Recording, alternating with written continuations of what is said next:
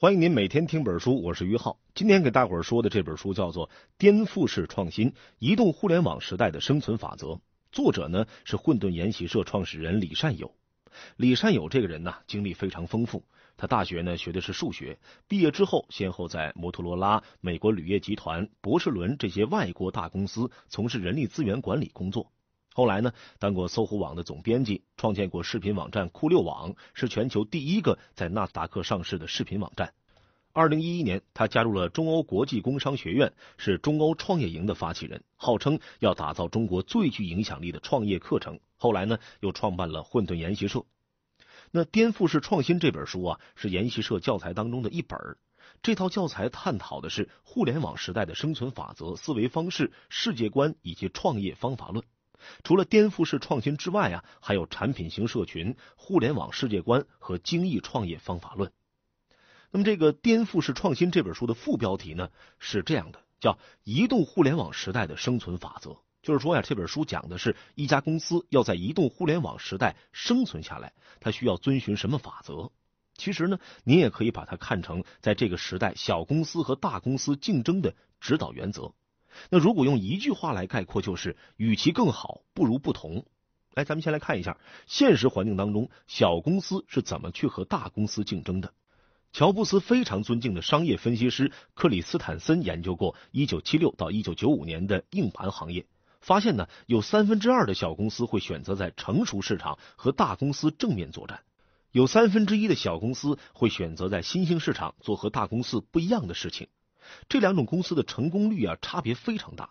和大公司正面作战的小公司成功率只有百分之六，而进入新兴市场的小公司成功率是百分之三十七，差不多是前者的六倍了。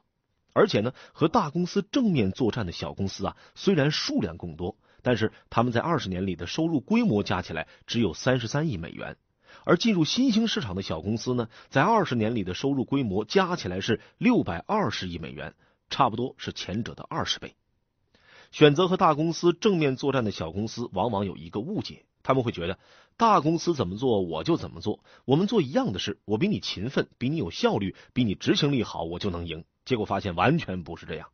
一个后来者要想让用户觉得他比领先者做得好是非常难的。据说统计规律是，你比别人好上三倍，用户才会相信你确实好。实际上，我们经常看到，就算是那些大公司要做和别人一样的东西，也是很难的。比如说，腾讯这家公司够厉害吧？照着百度做搜索没有做成，照着淘宝做电商也没有做成。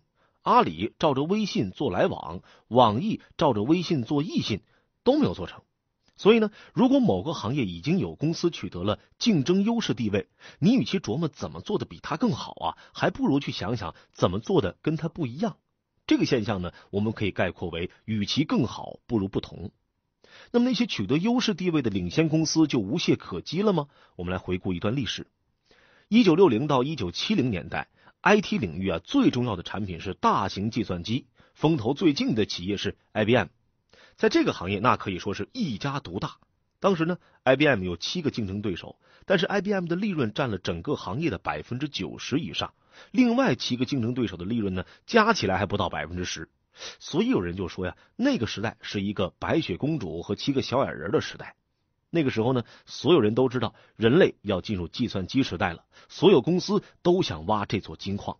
通用电气、美国无线电公司、美国电报电话公司这些巨头都投入了巨大的资源，没有一家公司能够动摇 IBM 的霸主地位。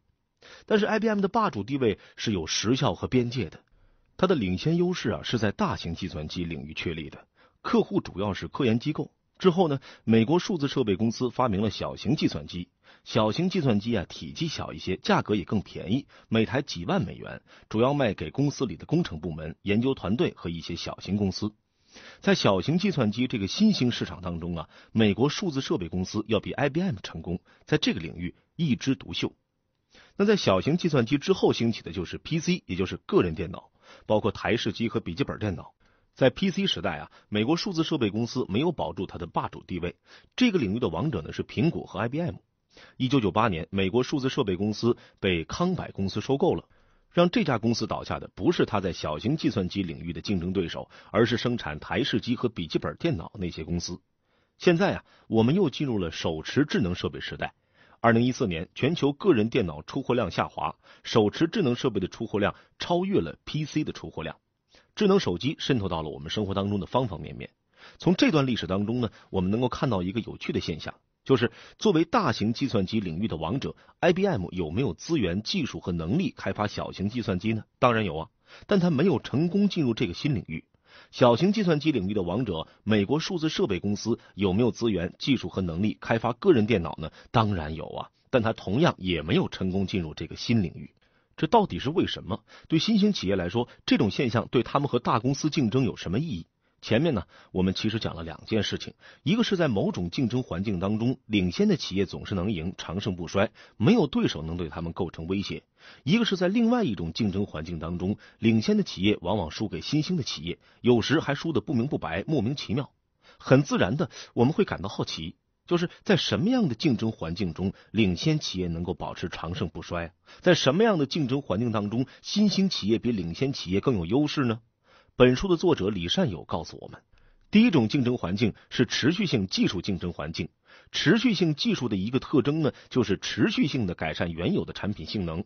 客户需要什么样的产品，就做什么样的产品，不断的提高产品性能，越做越好。在这种竞争环境当中啊，领先企业有很大的优势，因为它过去的积累都会发挥作用。新兴企业呢，很难超越。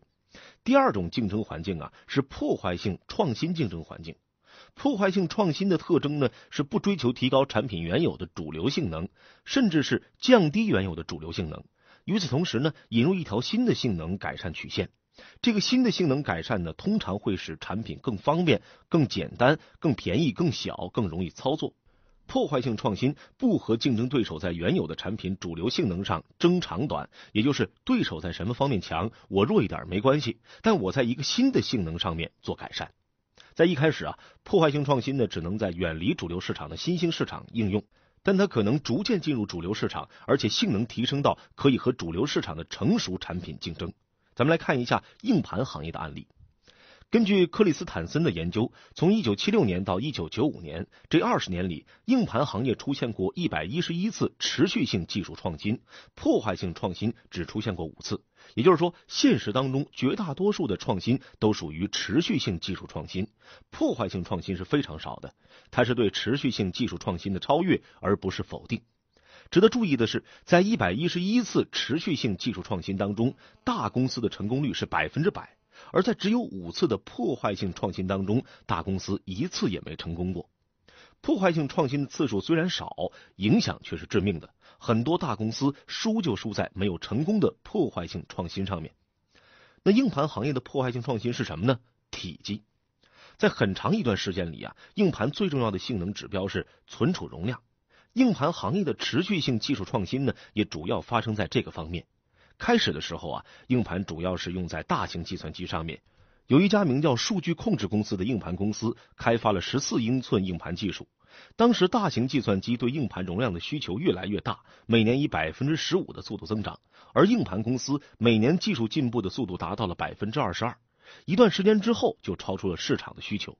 这时候，一种新技术就是八英寸硬盘技术出现了，而且最早就出现在生产十四英寸硬盘的公司。八英寸的硬盘体积呢，比十四英寸的硬盘小很多，但容量也比十四英寸的硬盘小很多。硬盘公司的销售员就去问他们的客户：生产大型计算机的 IBM 公司，你们需要八英寸硬盘吗？IBM 说：八英寸的硬盘容量太小，我们需要容量更大的硬盘。于是呢，十四英寸硬盘制造商就放弃了这种技术。后来呢，新兴的公司掌握了这种技术，但 IBM 还是不接受八英寸的硬盘。小公司没办法，只好去低端市场，谁需要就卖给谁。刚好这时候，生产小型计算机的公司开始出现了。小型计算机对容量的要求不像大型计算机那么高，但是对另一个性能指标体积有要求，所以生产八英寸硬盘的公司就把产品卖给了生产小型计算机的公司。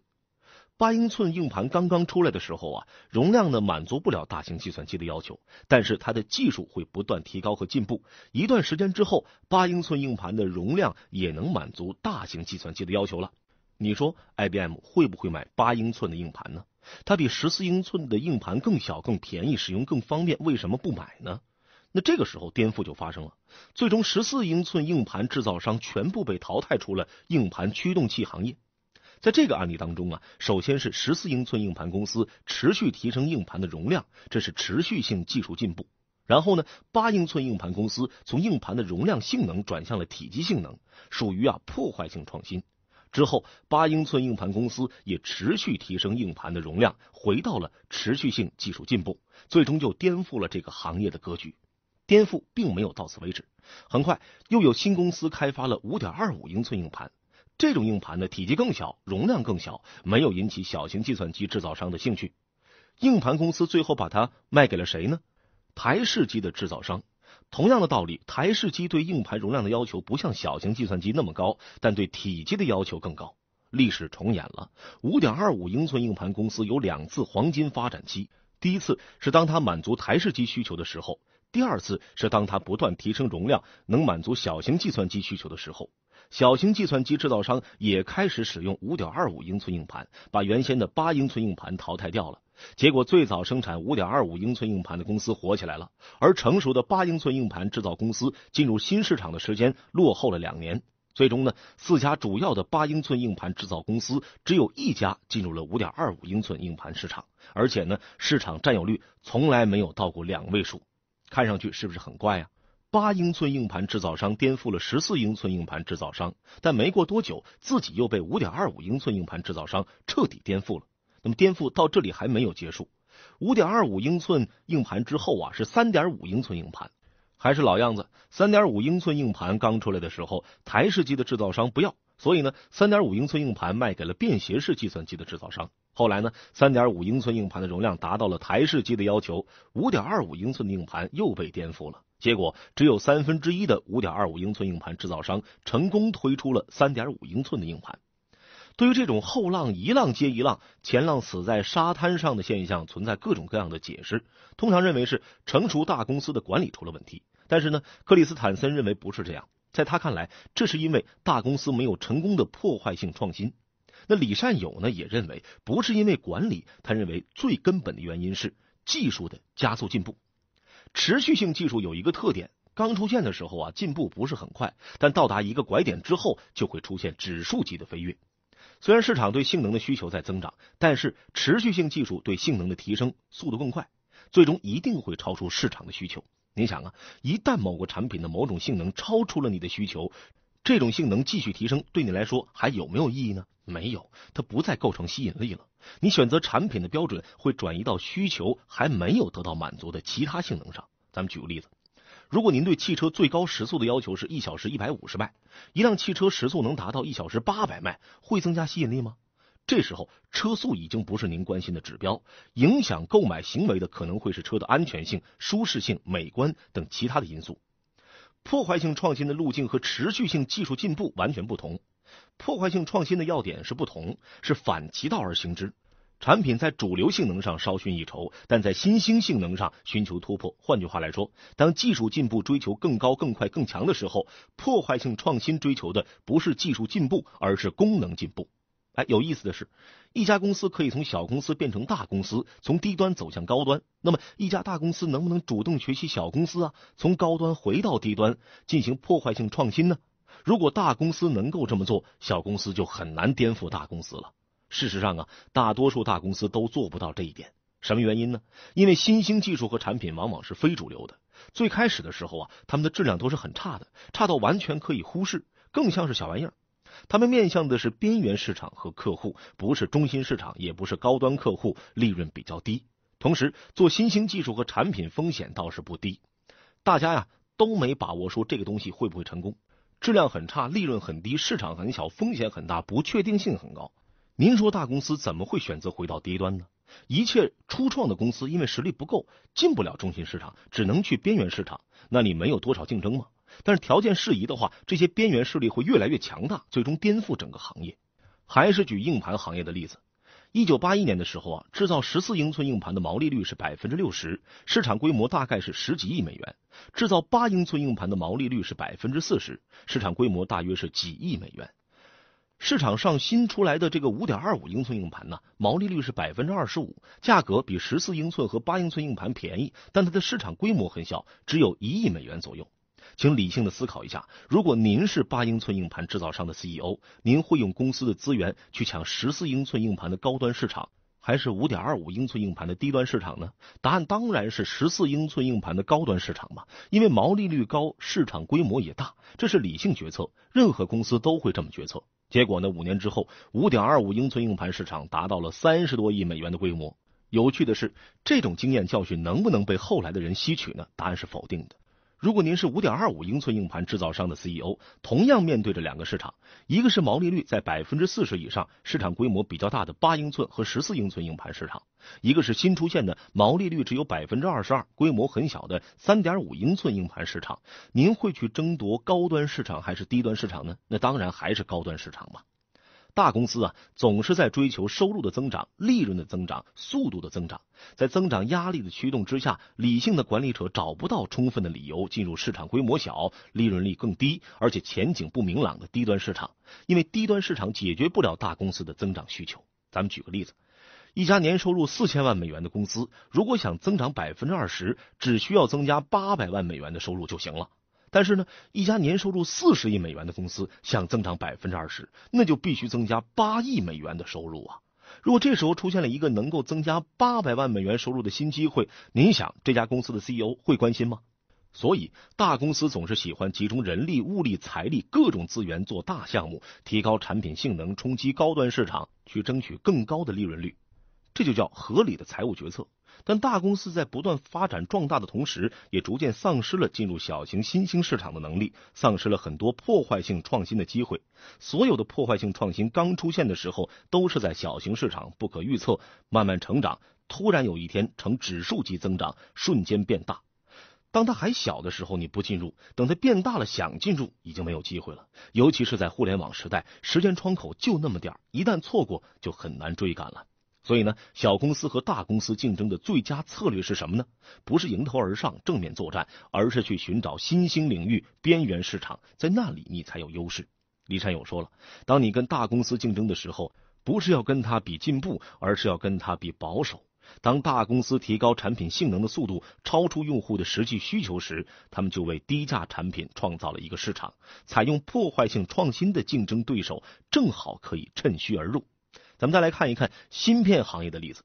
一九八零年代，摩托罗拉是全球最大的半导体公司，生产的芯片很高级，主要用在工作站上。当时呢，英特尔只能生产 PC 微处理器，性能和质量都跟摩托罗拉相差很远。但是英特尔慢慢进步，从四八六开始，芯片的性能就和摩托罗拉抗衡了。一九九零年代，英特尔推出了奔腾芯片，处理速度达到了工作站水平。二零零二年，苹果开始弃用摩托罗拉芯片。二零零四年，摩托罗拉退出了芯片市场，英特尔完成了对摩托罗拉的低端颠覆式创新。但除了进入行业时走低端路线，英特尔本身是持续性技术进步的代表。从二八六、三八六、四八六、奔腾、奔腾二、安腾到酷睿，二十多年里持续提升性能。它采用了垂直整合的模式，从芯片设计、研发到制造、营销，这全都是自己做。他把收入的百分之二十用在研发上面，拥有十一家全球技术最好的制造厂。在这个过程当中，他还和微软结成联盟，成为了芯片行业的绝对霸主。英特尔有一个竞争对手，一家叫 AMD 的公司。过去一二十年，AMD 的竞争策略一直是正面作战，英特尔做什么我就做什么，英特尔怎么做我也怎么做，和英特尔比拼性能。AMD 的市场占有率一度达到了百分之二十五，但是始终没有对英特尔构成威胁。一九九零年，一家叫 ARM 的芯片公司成立了。和 AMD 不一样，它走的是破坏性创新的路。它从哪个点切入呢？能耗。ARM 的芯片性能不如英特尔，但是能耗低很多。结果呢，在移动设备领域获得了很大的发展。PC 看重高性能，而对移动设备，比如手机来说，耗电量低是很重要的。ARM 啊，还发展出一种新的商业模式，就是自己负责架构设计，然后呢，把设计授权给各大半导体厂商，收取一次性知识产权费，或者在每块芯片当中收取版税。英特尔芯片售价基本在五十到一百美元，而 ARM 的芯片呢，竟然可以低到一美元。ARM 利用这种开放的模式，形成了一条生态链，获得了更多第三方的支持，包括微软、三星、苹果、谷歌、高通等等。乔布斯做 iPhone 的时候啊，想过用英特尔的芯片，但是呢，英特尔的芯片很贵，而且能耗问题解决不了，最后呢，只好用 ARM 的芯片。当时英特尔的 CEO 认为苹果做不好手机，而且这个市场很小，不是很在乎。可万万没想到啊，iPhone 后来发展出这么大的市场。而英特尔失去这个机会之后呢，再想进移动设备市场就难了。二零一三年，智能手机出货量达到了十亿部，超过了 PC。而英特尔在移动芯片市场的占有率呢，不到百分之一。不管智能手机的操作系统用的是 iOS 还是安卓，芯片都是用的 ARM 的。而且呢，ARM 竟然开始逆袭了。二零一三年，ARM 发布六十四位处理器，进军低端服务器市场。低端服务器对存储密度和能耗的要求超过对性能的要求。ARM 的芯片相比英特尔的芯片有很大的优势。ARM 最初进的是手机市场，手机芯片性能比较低，所有人都认为 ARM 不可能进入 PC 市场，但它居然进去了，这是非常典型的破坏性创新。那理性一点来看呢，大公司已经越来越难基业长青。在差不多五十年前，一九六七年的时候。IBM 的市值是一千九百二十三亿美元，相当于当时美国 GDP 的百分之二十三，相当于今天的一点三万亿美元，是名副其实的巨人。到二零一四年的第三季度呢，IBM 的市值是一千六百八十六亿美元，差不多是原来的八分之一。一九七三到一九八三这十年里，财富一千强企业当中有三百五十家被新企业挤出榜单。二零零三到二零一三这十年里，财富一千强企业当中被挤出榜单的竟然多达七百一十二家，大公司被赶下神坛的速度令人目瞪口呆。美国电话电报公司在长达六十五年的时间里是行业领袖，IBM 是二十五年，微软是十五年，速度越来越快。美国高科技企业的平均寿命是七点六年，中国高科技企业的平均寿命是一点八年。这个世界不再信奉基业长青，大公司必将衰亡，这是他们即使明白也突破不了的窘境。所以，创业永远有机会，但是您必须记住这句话：与其更好，不如不同。好了，以上就是《颠覆式创新》这本书的主，《颠覆式创新》这本书的主，《颠覆式创新》这本书的主。